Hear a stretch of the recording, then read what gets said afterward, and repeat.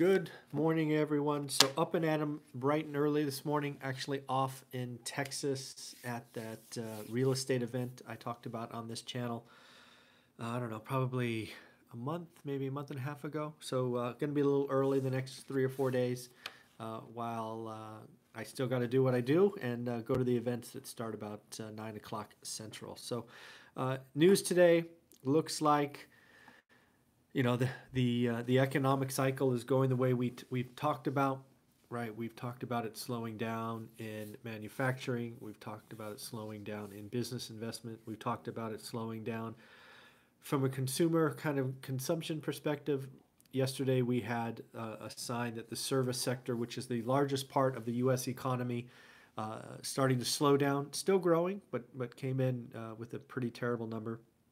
And uh, everybody today is already talking about this important jobs number being uh, being a little scary. So uh, it'll be interesting to watch it. I think I'm going to be at the event when it actually gets announced. So I may record another video on that later in the day, but we shall see. Uh, but as I said, the, the economy is doing what, uh, what unfortunately what I thought it was going to do, and layoffs are getting announced. Uh, I don't know if you saw it, but HP uh, announced 9,000 uh, layoffs coming. Now, some of that will become from just natural attrition and some early retirements, uh, but still, uh, in a sign of what's likely to come more and more frequently, uh, they announced 9,000 workers.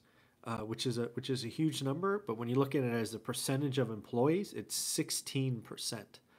So roughly one in five. And again, this is why I've been talking about for at least two months now, if not two and a half months now. You need to look yourself in the mirror, ask yourself some hard questions about your job. Right? Are you in a position in your job where you're close to revenue, close to the client, uh, so that you would not be at risk from uh, from a first first cut because because it's coming. In addition to that, WeWork uh, had a all employee meeting uh, yesterday with their new CEO and when pressed, he indicated that layoffs were coming as well. Uh, that company um, is flat out fighting to survive. They've got to restructure, get right, and um, you know I think Sam Zell uh, pr- might prove omniscient, and uh, that business model just doesn't work. Right? You lease big spaces at the peak of the market, recession happens, and what you know sounds sexy, buy by the foot, lease by the inch. Um, doesn't work when the recession comes. Uh, in addition to that, looks like Hong Kong uh, isn't going away. Uh, it, it hasn't really hit the press uh, probably enough. I think it probably deserves more attention. But it looks like they just had an emergency order banning face masks. Uh, there was some, some, you know, some pretty unfortunate events uh, as tensions rose and some injuries occurred on both sides between police and protesters. it's not good. Um, and unfortunately, it probably gets worse before it gets better. Uh, I am not there, uh, but uh, just it seems to be smoldering, and um, at any minute, uh, a big match or some more gasoline could, could cause it to go uh, to get worse. Uh, looks like we were right on Tesla again. if you've been watching this channel for a while now, I, I said three or four days ago that you know what one stock I would, or one, yeah, one stock I'd be, or company I'd be worried about would be Tesla. I happen to live in, in the Bay Area where it's seeming every other car is a Tesla. Uh, but as I said in that video, and I said today, or I'll say again today, it's a, it's a want, not a need, right? You don't need a Tesla. Uh, it is extremely cool engineering and, um, you know, a great car, I am sure. Uh, but when a push comes to shove, do you need a Tesla? Uh, I think the answer is no.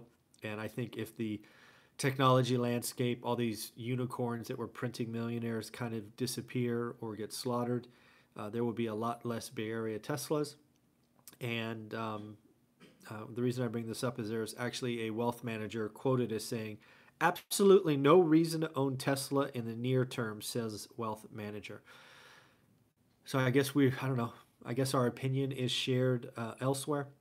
Uh, in addition to that, uh, I'm not quite sure why the GM UAW uh, strike is not bigger news. We've got to be entering or getting close to a month at which point, uh, as I said very early on in this, I thought the UAW had the power the first few days, uh, but now as it goes on longer, uh, I think GM has the power.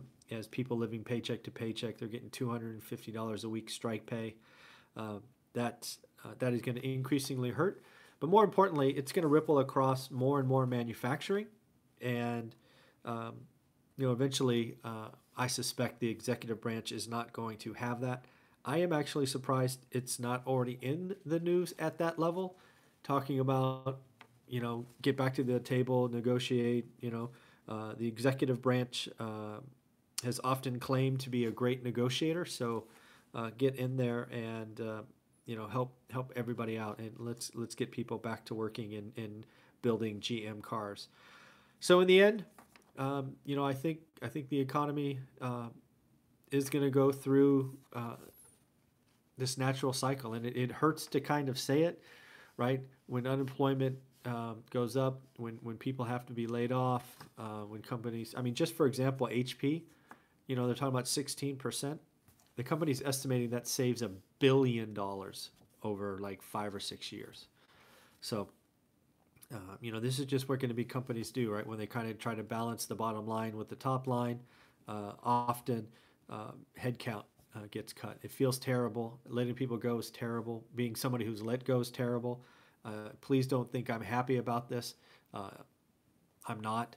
it's just a natural part. But as somebody who follows the consumer and cost of capital, it's going to be a good thing, right? Because cost of capital is going to go low uh, and to talk about that, if you watched yesterday's video, I talked about being down 1,100 points, which happened right after the announcement uh, of the poor uh, ISM number. And then what happened? Everybody started to realize that the Fed's going to cut another quarter point on October 30th, uh, and the stock market uh, came back. I think that's really interesting, right? The economy is now going down. Uh, but hey, wait, the you know the Fed's going to cut a quarter and likely cut a quarter again. Um, as I've said three times now, I think I actually think the numbers are going to be so bad. Uh, the Fed cuts a half on October 30th to try to plug the leak. Uh, but once the momentum gets going, it, it just it's got to happen. Uh, and then the last thing is, um, it looks like private equity is getting ready to go shopping. I've talked about Sam Zell and Warren Buffett having rec- record cash levels. Uh, private equity is going to go shopping. And this is what's going to happen for real estate investors. This is what I'm going to do. Uh, when the owner occupants demand falls, when listings rise, like in Manhattan and um, uh, wherever that other place is in New York we talked about yesterday, rise. It's going to happen in all markets. Uh, and I'm going to start picking up stuff. Plus, cost of capital comes down.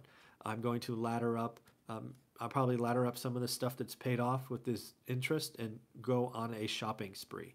So this is what's going to happen. It's a natural part of the cycle. Don't be nervous. Protect yourself, right? Make sure you put yourself in a position to, uh, to keep employed. Um, but it's it's it's time to learn your market. If you don't know how, there's a link below. Uh, but it's time to learn your market, and it's going to be time to go shopping. I think 2020 is going to be an excellent time to buy investments. Unfortunately, uh, that means uh, some people are going to lose their job. You know, some people who uh, bought overpriced investments that I've been talking about the last couple of years are going to get hurt.